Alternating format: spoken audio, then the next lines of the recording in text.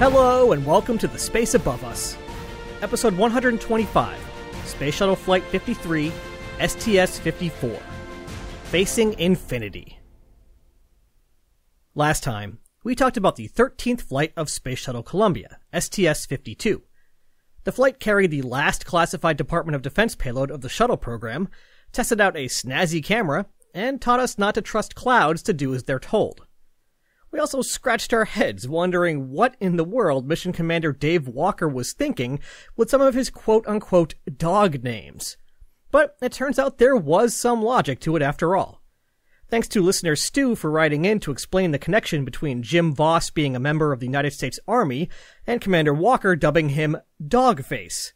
It turns out that Dogface has been a nickname for Army infantrymen for decades, starting out as an insult, but an insult which they soon embraced. Never question dog name logic, and never try to insult an army infantryman, I guess. And actually, speaking of Stu, I just wanted to give a quick shout out to his dad and fellow listener, Bruce, who's been having a rough time. Hang in there, Bruce. If doing this podcast has taught me anything, it's that as long as you keep moving forward, even if it doesn't feel like much at the time, you'll accomplish things that you never thought you could do. Here's hoping that this year more than makes up for the last. Today, we'll be talking about the third flight of the new orbiter on the block, Space Shuttle Endeavour. The primary mission was one that will seem pretty familiar to us the deployment of TDRS F, the latest addition to the Tracking and Data Relay Satellite System. TDRS is one of these things that I think is really easy to underestimate. It's so critical to spaceflight operations that it just sort of fades into the background, taken for granted in the same way that people rarely stop to think about how amazing it is that roads exist. So let's not take poor TDRS for granted, and let's do a quick refresher on what the system is and how it works. In the early days of spaceflight, the only way to communicate with an orbiting spacecraft was to build a big ol' antenna on the ground and wait for the spacecraft to fly overhead.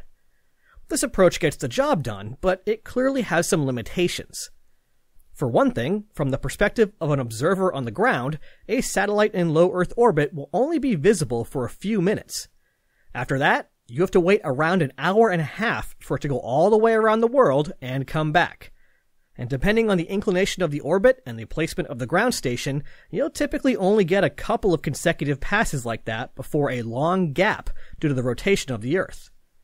So you either need to content yourself with fairly short and infrequent contact with your spacecraft, or you need to build a ton of expensive ground stations all over the world. But since you can only build so many ground stations, and a lot of the surface of the planet is the ocean, you really get the worst of both worlds. A series of short contacts with gaps lasting up to several hours in between. It worked, but it was expensive, annoying, and potentially dangerous, as we saw on Gemini 8, when a thruster on the spacecraft malfunctioned, placing it into a nearly catastrophic spin, all outside of contact with the ground. TDRS solves this problem. By placing a communication satellite in geosynchronous orbit, a satellite in low Earth orbit is able to maintain a connection with it for around half of its orbit, which for LEO works out to 40 or 50 minutes. By adding a second satellite above a different location on the equator, you can ensure that any spacecraft in LEO can stay in contact for around 85% of their orbit. You might be tempted to add a third satellite and extend coverage to 100%, but sticking to two satellites gains you some extra simplicity. Because if you're careful about how you place the two satellites, they can both see the same ground station at the same time. And this is exactly what TDRS did. One satellite in the east, one satellite in the west, and only one expensive ground station located at White Sands, New Mexico, which can be counted on to have nice clear skies pretty much all the time. In theory, that's all the system needs. But in real world operations, things get a little more complicated. First, while they ended up lasting a lot longer than planned, each of the early TDRS satellites only had an expected service life of seven years, so it was important to plan on rotating them out of service and replacing them with new satellites. And second, it's important to have a spare satellite already hanging out in orbit. With satellites typically costing hundreds of millions of dollars just to build, let alone launch, it might seem like quite a luxury to have a spare satellite, but it's important to look at the bigger picture. In 1993, TDRS was critical for the operation of over $100 billion worth of space operations. We've got the Compton Gamma Ray Observatory, the Upper Atmosphere Research Satellite, the Hubble Space Telescope, the Cosmic Background Explorer, a couple of Landsats, and the vehicle that delivered many of them into orbit, the Space Shuttle. We've also got the upcoming space station and Earth observation system. So, with a replacement TDRS expected to take as much as a year to launch, it was important to have a spare ready to jump in at a moment's notice. Well, maybe not a moment's notice, but certainly less than a year's notice. Of the existing fleet, TDRS 1 was past its service life, so had been semi-retired. TDRS 2 was destroyed in the Challenger accident, TDRS 3 was only partially functional, and TDRS 4 and 5 were doing great. So, in order to have two fully functional satellites and a fully functional spare ready to jump in, we needed a TDRS 6. And since we don't change the letter to the number until the new satellite is safely in place in GEO, today's payload is TDRS F. Just as a side note, if I understand correctly, the addition of a fully functional TDRS would allow NASA to dedicate TDRS 1 entirely to the Compton Gamma Ray Observatory, which had a problem with its tape recorder. By positioning TDRS 1 over Australia and using an existing ground station just for GRO, GRO would be able to just constantly stream its data out to the TDRS constellation and not miss any data, which is pretty handy. If you're getting sick of all this TDRS talk, don't worry. After this, we only have one more launching on the shuttle, TDRS 7. You can hear all about TDRS 8 and the others on some other podcast dedicated to the Atlas II rocket. Also, if there actually is a podcast dedicated to the Atlas II, please let me know. Commanding the flight was John Casper, who I'm sure was glad to be moving to the left seat on only his second mission. We last saw him flying as pilot on STS-36, which deployed something secret, which might have been a reconnaissance satellite named Misty, but we won't know for sure for decades to come. This is Casper's second of four flights. Joining Casper up front was Don McMonagle, who was also flying for a second time. We last saw him flying as a mission specialist on STS-39, where the rendezvous choreography of SPAS 2 surely kept him busy. This is his second of three flights. Moving back, we find Mission Specialist 1 Mario Runco. We last saw Runco flying on STS-44, which deployed an unclassified DoD communications satellite. This is his second of three flights. Next to Runco was Mission Specialist 2 Greg Harbaugh, who we last saw flying with McMonagle on STS-39. This is his second of four flights. And last but certainly not least, our lone rookie on this flight, Susan Helms. Susan Helms was born on February 26, 1958 in Charlotte, North Carolina, but would tell you that she's from Portland, Oregon. Helms graduated from the U.S. Air Force Academy before heading off to the Air Force as an F-16 weapons separation engineer down at Eglin Air Force Base in Florida. A couple of years later, she moved to a similar role for the F-15. After that, the Air Force sent her to Stanford University to earn her master's degree before becoming an assistant professor at the Air Force Academy. As she told it in an interview before one of her later missions, she had terrible eyesight, so never qualified as a pilot, but was still interested in flying. So when she realized that the Air Force had a role for engineers flying in the back seats of planes, she was eager to sign up. Unlike a lot of people we've talked about on this show, Helms was not, as she put it, born with a burning desire to become an astronaut. But as she continued her flight engineer work, she came to realize that becoming an astronaut was a natural next step on her current trajectory. The way she saw it, the job of a mission specialist was similar to what she was already doing, but even faster and higher. Over the course of her work with the military, she flew in 30 different types of United States and Canadian military aircraft, and in 1990, she got a call asking if she'd like to fly in a different type of vehicle, the Space Shuttle Orbiter. This is her first of four flights. Like most shuttle launches, this flight was postponed a couple of times during the year before liftoff, but it ended up only slipping less than two months from the original date that was scheduled almost two years beforehand.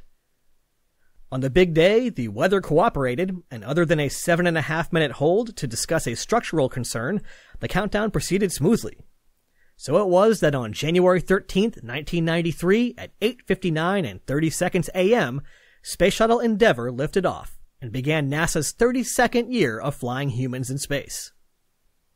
Ascent was uneventful, with the now typical direct ascent trajectory eventually placing Endeavour into a 300 kilometer high orbit. An hour and 40 minutes after that, the payload bay doors were opened and the final checkouts on TDRS F could begin. Like all previous TDRS satellites, this one used an inertial upper stage, two small solid motors that would propel it to a geosynchronous orbit. As part of the final checks, connectivity between the payload and the orbiter were checked, and TDRS and its IUS were tilted up out of the payload bay so that it could be verified that the spacecraft could communicate directly with the ground. Once all the checks were passed and TDRS F was verified to be happy and healthy, the support structure was tilted up even more, and only 6 hours and 13 minutes into the mission, TDRS F was released and sailed over the crew cabin as the astronauts peered at it through the overhead windows. A few hours later, it was on its way to GEO, where it would undergo commissioning and be redubbed TDRS 6. As of 2021, it remains in service. As I write this, it's about 36,000 kilometers above the coast of Brazil. With the flight's primary mission complete, we can now turn our attention to the secondary payload in the payload bay, the Diffuse X-ray Spectrometer, or DXS. X-rays, as we know, are a high energy form of light. I find it helpful to think of this as just a color that human eyes can't see. Moving up in the electromagnetic spectrum, you've got red, orange, yellow, green, blue, indigo, and violet, which we can see. But then if we keep going, we get into ultraviolet and X-ray, which we cannot see.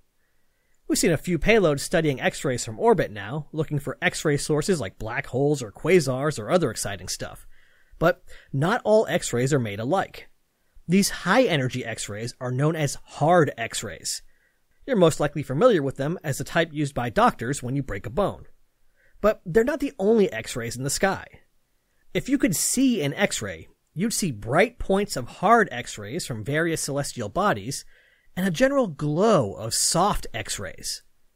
These soft X-rays are lower energy than hard X-rays, but still higher energy than ultraviolet. Okay, great. So why do we care about soft X-rays? Because they're emitted by the super thin gas that permeates the space between the stars. If we could better understand this interstellar medium, we could better understand the structure of galaxies, which lets us better understand where galaxies come from and how they evolve over time. Which is a lot of pretty cool information, all from measuring some X-rays. What's neat about this interstellar plasma is that it's actually over a million degrees Kelvin. That seems totally crazy hot, but you have to remember that when gas is this thin, temperature can be a little counterintuitive. Temperature is really a measure of the random motion of particles inside a substance. In a gas that you're used to dealing with, like air, even air that's just sitting there, particles are constantly whizzing around and bumping into other particles. So any given particle is moving super fast all the time, but it just isn't getting very far. I sort of think of this as like a person in a mosh pit. A person in a mosh pit is constantly being pushed around by the people around them, but they're not necessarily changing their position much relative to the stage. The gas in the space between the stars is so thin that each particle is free to move in completely different directions than the other particles without being bounced around, resulting in them going really fast resulting in a crazy high temperature. But since it's so thin, it also means that it can't transfer very much heat, so a spacecraft flying through it wouldn't just like instantly melt. This is counterintuitive to us because we're used to living in a world where we're basically swimming in particles air, water, the ground, and all of these things transfer heat reasonably well, at least compared to interstellar plasma. It's easy to think of life on Earth as being normal but it is completely different than conditions in most of the universe. One last note on this. For an example of a crazy hot plasma that's a little bit closer to home, look no further than the fluorescent light bulbs that are likely somewhere in your house right now. The plasma inside the bulb reaches tens of thousands of degrees, but since it's so thin and there's so few particles in there, there isn't really all that much energy, so you can still touch the bulb without just bursting into flames. Plasma is weird. The DXS instrument itself was pretty unobtrusive. Split into two pieces, if they weren't pointed out to you in a photo of the payload bay, it's likely that you wouldn't even notice them. just a couple of boxes wrapped in white fabric mounted to either side of the payload bay. Along with the boxes was a curved element, which contained thin segments of a special crystal. Soft X-rays would enter the curved element, bounce off of the crystal, and then be directed to some film at the bottom of the instrument.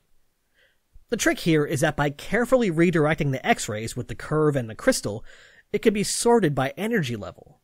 This energy level sorting is called spectroscopy, hence the name diffuse X-ray spectrometer.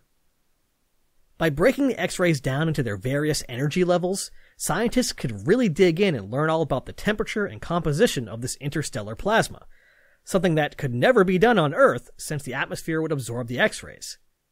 In fact, the Earth's atmosphere is not the only thing that absorbed these soft X-rays. The interstellar medium that they were studying would also absorb them, which meant that all the observed X-rays were from a maximum of only a few hundred light years away, which in astronomy terms is practically Earth's backyard. The diffuse X-ray spectrometer was a pretty interesting experiment, but sort of boring from the crew point of view. They turned it on at the start of the mission, and they turned it off near the end of the mission. It passively collected data, and the folks at the Goddard Space Flight Center kept an eye on it. Something that was a whole lot more exciting for the crew was the flight's next objective, a good old fashioned spacewalk. With the space station looming closer and closer on the horizon, folks on the ground had worked out how it would have to be assembled and realized that astronauts were going to have to spend a little time outside. Actually, a lot of time outside. Even with careful design and extensive use of the shuttle's robotic arm, building the space station was going to take dozens and dozens of EVAs. Which is great, except you may have noticed that we actually haven't been doing a ton of EVAs lately. Planning a spacewalk takes a lot of time and resources, and as we saw on Endeavour's first flight, which saw three astronauts outside wrestling with Intelsat, they don't always go as planned. Plus, they're dangerous. Even with all the engineering and all the planning, you're still sending a person out into the void inside a tiny flexible spaceship. There's a lot that can go wrong. So EVAs weren't something that you would just do for funsies. But as a result of this, there wasn't actually all that much EVA experience in the astronaut corps. According to Ben Evans' book, Partnership in Space, at this point in the program, less than 10% of the active astronauts had any EVA experience. And that's just the astronauts. Who knows how many trainers, technicians, and other ground personnel could use more experience with extravehicular activity. To help fix this problem, with only about two months to go before liftoff, STS-54 suddenly gained an EVA. The objective? Well, basically to do an EVA. what? Let's just get going and I'll explain on the way. On flight day four, Greg Harbaugh and Mario Runco suited up stuffed themselves into the airlock, and opened the door to head outside. Susan Helms would stay on the flight deck, looking out the aft windows and assisting the EVA crew. Don't feel too bad though. Helms will get her own EVA a little bit down the road, and will set a record for longest spacewalk that still stands to this day. Once they got outside, Harbaugh and Runco, from what I can tell, basically just puttered around. They practiced moving around the payload bay, handling tools, and moving stuff around. The basic stuff that would be critical for building the space station, or servicing satellites, or whatever. TDRS F was gone, but they were able to use the support equipment for its upper stage to practice some contingency techniques. If the motor that tilted the IUS up failed, the crew was equipped to go out and manually crank it to the correct angle. So even though there was nothing on it, they moved the support platform up and down using their specialized tools. One of the goals today was to practice moving heavy things around the payload bay. But since this EVA was added so late, there wasn't anything heavy to move around. So, somewhat hilariously, the two crewmates just took turns carrying each other around, with one playing the role of cargo and the other trying to load them into the airlock. When I apply to be an astronaut, I'm going to put that on my resume as an applicable skill. Has mass. See STS 54 EVA. While outside, Mario Runco had a pretty remarkable moment, which he described in an interview with the Smithsonian. While he was waiting for Greg Harbaugh to finish something, he found himself with a little bit of that most precious resource in space free time. At the time, Runco's feet were locked into a platform, as we've seen on numerous earlier EVAs. This left his hands free to use tools and gave him a little bit of leverage so that he wouldn't be pushed back from whatever he was working on. With his newfound spare moment, he did something that he was used to doing during underwater training and bent at the knees, bending backwards in a motion similar to doing the limbo. In space, with no weight to support, this cantilevered position is apparently pretty relaxing. But when Runco popped back up, he forgot another lesson of STS 49.